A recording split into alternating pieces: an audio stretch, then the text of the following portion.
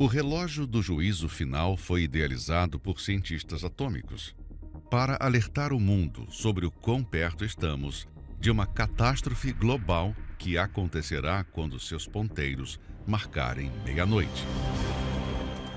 O relógio foi iniciado em 1947, marcando sete minutos para meia-noite, em plena Guerra Fria. Seus ponteiros têm avançado com frequência crescente. Durante os primeiros 40 anos, os ponteiros só avançavam uma vez a cada década. E chegaram até a retroceder.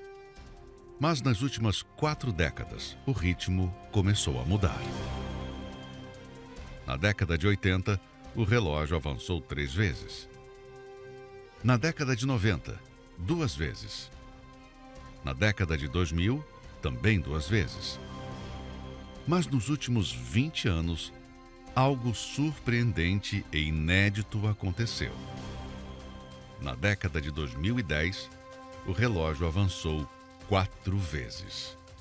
E nesta década de 2020, que mal chegou à metade, ele já avançou duas vezes. Nesses 20 anos, o relógio nunca mais retrocedeu.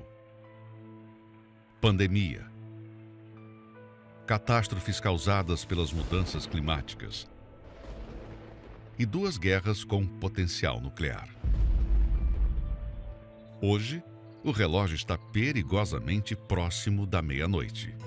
Os cientistas do projeto descreveram este como um momento de perigo sem precedentes. Faltam apenas 90 segundos para o fim. Esta semana, a notícia de ataques norte-americanos no Iraque e na Síria mostraram que estamos cada vez mais perto da Terceira Guerra Mundial.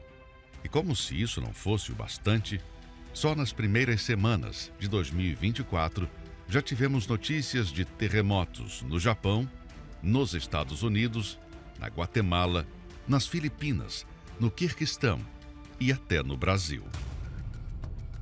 Está cada vez mais difícil acompanhar o ritmo vertiginoso das notícias que apontam para os últimos dias. Não, isso não é normal.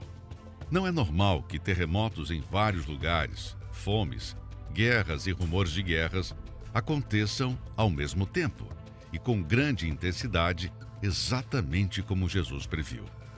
E você continue fechando os olhos insistentemente para o fato de que todas as evidências apontam para a proximidade da volta de Jesus. Não é normal que você desconsidere o futuro eterno da sua alma e não se pergunte: será que eu estou pronto para quando este dia chegar?